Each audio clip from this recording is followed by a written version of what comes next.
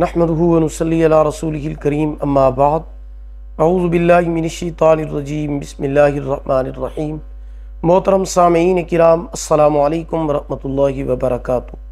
آج ہم بات کریں گے خواب میں پاخانہ اور پوٹی کو دیکھنے یا کرنے کے حوالے سے۔ اس کی مختلف صورتیں ہیں اور ان کی مختلف تعبیریں ہیں۔ خواب میں پوٹی کرنا، پاخانہ کرنا مال و دولت خرچ کرنے کی نشانی ہے۔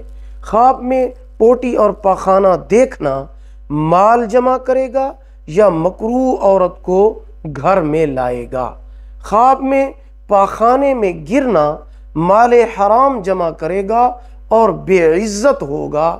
صدقہ کرنا چاہیے، استغفار پڑھنا چاہیے۔ خواب میں پوٹی کی جگہ دیکھنا، پیشہ اور کام تباہ ہونے کی علامت ہے۔ خواب میں پاخانے کی جگہ کا بند دیکھنا دلیل ہے کہ اس کا کام اور اس کا پیشہ اس کے اوپر بند ہوگا۔ خواب میں پاخانے کی جگہ درد ہونا فساد اور حرام کرنے کی علامت ہے۔ خواب میں پوٹی پتلی کرنا، پخانہ پتلا کرنا، یہ سارا مال خرچ کرنے کی دلیل ہے۔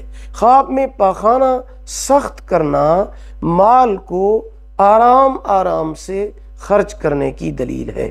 خواب میں پاخانے کی جگہ سے کیڑا نکلنا پوتوں میں غم لاحق ہونے کی دلیل ہے۔